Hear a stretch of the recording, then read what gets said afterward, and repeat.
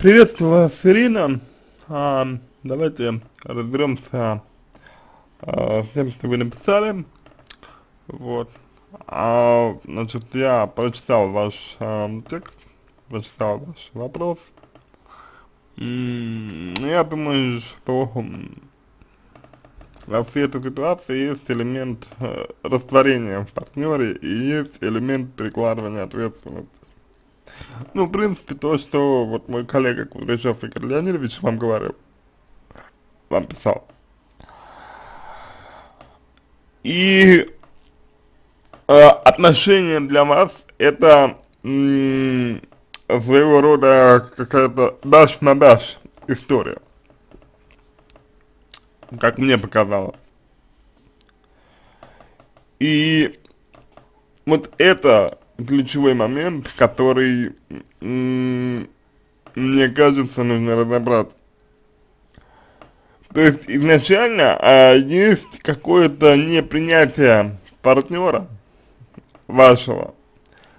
Изначально есть э, желание его изменить, желание его переделать. А, и благодаря этому получается конфликт. Итак, вы пишете, не можем найти общий язык с любимым человеком. Здесь есть элемент растворения, потому что не можем. Нет. А правильно сказать, я не могу найти общий язык с, с любимым человеком. Я не могу говорить на его языке, к примеру. Вот это правильно. Я не слышу его, он меня. А какая у него мотивация слышать вас? Вот зачем ему вас слушать, грубо говоря, зачем? Вы говорите, что э, вы не слышите его. Хорошо, почему, почему вы его не слышите? Вот это э, в таком ключе все происходит. Если человек не, не слышит вас, то нужно спросить, какая у него мотивация вас слышит, и зачем ему вас слышать. Если не слышите вы человека, то, соответственно, почему? Что, что, что мешает? Когда я начинаю разговор, э, слышу в свой адрес мат оскорбления, это защита, это защитная реакция. Э, его, так же как и ваша, и здесь вопрос в том, как вас это задевает. То есть, если мы говорим про, э, например, неприемлемость или приемлемость мата и оскорблений, это одно, то, что с вами нельзя так общаться, то, что с вами нельзя так разговаривать. Но если мы говорим про то, что вас это задевает, то есть вызывает некие негативные чувства, вас расстраивает, вас это вводит вот в состояние, что вы замыкаете в себе, то это уже речь идет а именно вашей проблеме, а именно вашей реакции на подобное. Вот. И, вероятно, связано это с тем, что в детстве на вас, на вас также кричали. Вот. На вас, на вас либо кричали, либо был еще какой-то элемент, элемент вот такого подавления. То есть вас вводит в ступор, а, подобно экспрессия, потому что вы не привыкли защищаться, не привыкли отстаивать свои интересы, не привыкли выражать свои э, чувства и эмоции. По сути, не привыкли говорить нет, адекватно. Дальше. Значит, э, так, тут вы зачем-то перечисляете то, что он нам говорит, непонятно зачем. А основная его претензия, ты всегда сливаешь, когда дело находит, доходит до серьезного разговора. Это похоже на правду. Действительно, когда на меня орут, я закрываю, замолкаю, просто теряю дар речи и не могу ничего говорить. Почему? Почему? Вот что происходит с вами в этот момент, Ирина? Почему вы замыкаетесь, закрываете? Потому что боитесь. Потому что есть страх. Вопрос только в том, чего страх. Так, а, значит, пытался ему об этом сказать несколько раз ноль. Что значит пыталась? Вы либо говорите человеку, либо не говорите. Да, если человек воспринимает а, как обвинение то, что вы, вы ему говорите, значит, а, вы используете не я сообщение, а ты. Вот. Почитайте про я сообщение, это будет вам, ну, в любом случае, не, не бесполезно. А, далее, что значит я пытался ему это сказать? То есть вы преподносите тот факт, что вы закрываетесь, когда на вас кричат, так, как будто это константа, так, как будто это что-то нормально. Но нет, это не нормально, это проблема. И эту проблему вам нужно решать, потому что люди бывают разные, потому что ситуации бывают тоже разными. И, допустим, ваш молодой человек кричит, э, это является, ну, допустим, следствием ваших, ваших конфликтов, но в жизни бывают разные ситуации, и вам так или иначе нужно быть готовы к тому, что кто-то будет на вас кричать, и в этот момент нужно вести себя адекватно, не, закры, не закрываться. Вот. Опять же, а, претензия, ты всегда сливаешься, когда дело доходит до серьезного разговора, выглядит немного странно, потому что а серьезный разговор о чем? Это означает, что раньше а, тоже были какие-то конфликты у вас. А, он считает, что я должна слушать не эмоции, а слова. При этом оскорбление, это не оскорбление в мой адрес, это его, просто его мысли. Да, возможно, возможно это, это так, это особенность человека. И вы не хотите принять пока что ответственность за то, что вас эти оскорбления задевают именно. А, так, основной упрек, что я играю с ним, мне выгоден хаос в отношениях, я не, не, не хочу с ним договариваться. А я не знаю, насколько это правда. Да, вы, вы жертва, но насчет хаоса я не уверен. Я думаю, что здесь проблема в чем-то другом. То есть, как бы, э, сложно выделить эм, то, то, что является проблемой у вас, по тексту сложно выделить. Но я совершенно точно знаю, что хаос, он, если и нужен, то несколько другому э, типу личности, не вашему, не тому, кто закрывает, закрывается. А, почитал литературу, зачем? Зачем читали? Действительно, есть треугольник Карпмана, а, позиция шефа преследователя, еще ряд моментов скала развития сценария, может, есть еще что-то, но и в его поведении есть масса манипуляции. Да, вероятно, но причем здесь он?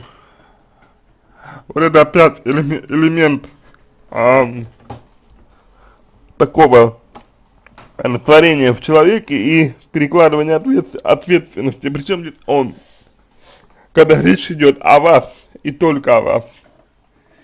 Когда именно вам нужно выходить из треугольника Карпмана, и вам нужно менять свой сценарий, если вы хотите, э, ну, успешную личную жизнь построить.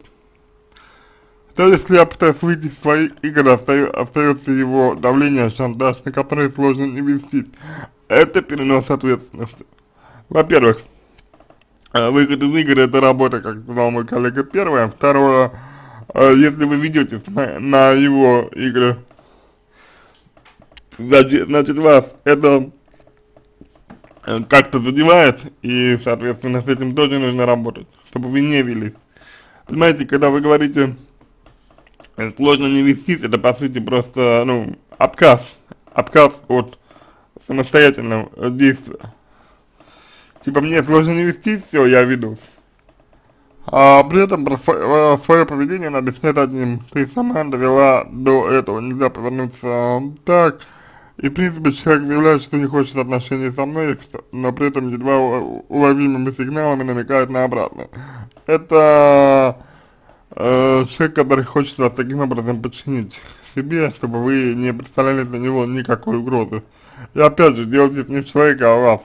Есть вам нужно сперва разобраться в себе, в том, что вы закрываетесь, например, в том, что вас задевает, в том, в чем вы не уверены, и дальше уже можно, можно будет э, вести речь о, о взаимодействиях с э, партнером, через я сообщения и прочее. А, так, понимаю, что а, проще разойтись, но ведь чувства есть, с его стороны тоже. А какие чувства? Вот какие чувства, если вы а, не принимаете человека таким, как он есть? Какие чувства? Итак, цель восстановить отношения, гармонизировать их. Хорошо, сперва нужно начать себя и гармонизировать вас. ваше, ваше психи психическое состояние, психологическое состояние, вот, пока оно не гармонизировано. Как вести себя человеком, который обвиняет тебя в играх, при этом сам является э, великим манипулятором? Перестать, перестать играть в игры, э, быть искренней, э, аутентично выражать свои эмоции, использовать я-сообщения. Э, к любой игре есть антитезис. Если э, у ваш молодой человек играет в психологическую игру скандал, например, то у психологической игры скандал есть антитезис. Если ваш молодой человек играет в другую игру, к любой игре э, есть антитезис. Сложность с антитезисом э, присутствует только в игре э, попался сукин сын, по-моему, и еще в, какой- в какой-то, сейчас уже не вспомню. Эм, но есть общие антитезисы, которые помогут вам не э, вступать в, игры. Но для этого необходимо иметь свою собственную психологическую устойчивость, которой у вас нет, потому что вам сложно не вестись на его игры, как вы говорите. А, как сохранять спокойствие, когда слышишь э, поток оскорблений и обвинений? Моя тактика пропускать мимо ушей, да, я не слышу то, что хочет донести своими словами. Эм, отделить то, что, э, то, как и почему вас задевают его оскорбления и обвинения от того, что он говорит. То есть вам необходимо поставить границы между этими вещами. Его оскорбления и обвинения задевают вас, потому что вы в чем-то не уверены в себе, и это ваша проблема, с этим вам нужно работать, потому что вас будут задевать любые оскорбления и обвинения, э, которые касаются ваших болевых точек, и неважно от кого это идет, э, опять же. А то, что он говорит, это совсем другое. Как в потоке оскорбления вычленить смысл? Это уже вам решать, то есть мы же не знаем, что он говорит, и мы не знаем, как он говорит. Как, бы, как правило, просто смотреть, смотреть в суть, но мне кажется, что здесь вы перекладываете ответственность уже на нас. Как правильно действовать в этой ситуации? Чтобы что? Если вы действуете в ситуации какой? Когда человек уже начинает скандалить, его не остановить, это называется состояние аффекта. И если человек, человек впал, впал в состояние аффекта, ему нужно дать это состояние полностью прожить. Э, Как-то подавлять его и успокаивать бесполезно. Вот. А так я сообщение, в принципе, но это действует только когда человек спокоен. Как восстановить доверие? Я верю любимому человеку, хотя много раз говорилось, что иду в девушку так. Э, значит, это манипуляция, что вы ревности заставит зашевелиться. То есть молодой человек, молодой человек ваш еще в себе не уверен, не уверен получается. Вот. А вот мне любимый человек не верит, поэтому объяснить, что невозможно не сорваться, когда на тебя по 10-15 минут э, матом орут. Э, но опять же, здесь опять же вы перекладываете ответственность на это, то есть как бы невозможно не сорваться кому? Вам? Да. Но почему вам? Это можно изменить. То есть вы себе задаете вопрос, почему я не могу не сорваться? Почему я не могу? Не могу спокойно, спокойно это воспринимать. Почему я воспринимаю это на свой личный счет? Может быть, я в глубине души где-то согласна с этим? Если так, то почему? Вот.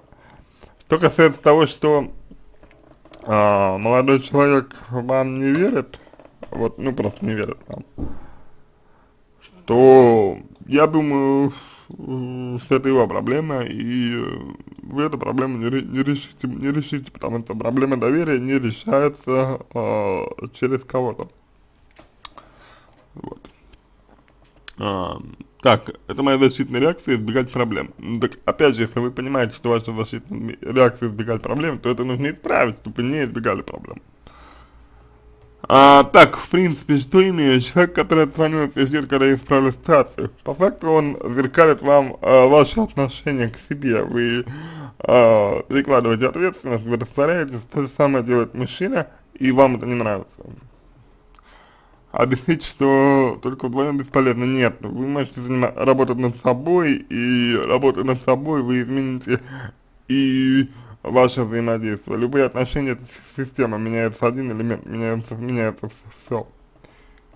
А, так, э, тут же, ну, в принципе, в принципе вот, э, Ирина, такой ответ вам можно дать, да?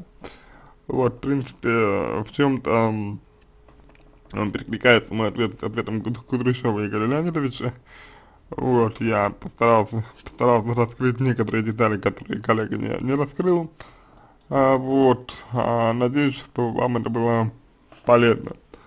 Вот, в целом, в целом такое ощущение, что вы думаете, что есть какой-то вот э, некий, некий э, универсальный рецепт, который вам сразу поможет. Нет, э, понимаете, нет такого универсального рецепта. Ваши, ваши проблемы в отношениях это э, отражение вашей собственной проблемы психологической и, возможно, не одной, и с ними нужно работать.